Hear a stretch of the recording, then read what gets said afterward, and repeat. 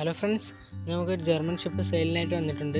ഇവരെ കോൺടാക്ട് ചെയ്യേണ്ട നമ്പർ ഞാൻ ഡിസ്ക്രിപ്ഷൻ ബോക്സിലായിട്ട് കൊടുക്കുന്നുണ്ട്. പിന്നെ ഈ പപ്പി സെയിലായി കഴിഞ്ഞാൽ ഡിസ്ക്രിപ്ഷൻ ബോക്സിൽ അവരുടെ നമ്പർ കാണാൻ കഴിയില്ല. അതുകൊണ്ട് പെട്ടെന്ന് തന്നെ നിങ്ങൾ കോൺടാക്ട് ചെയ്യാൻ ശ്രമിക്കുക.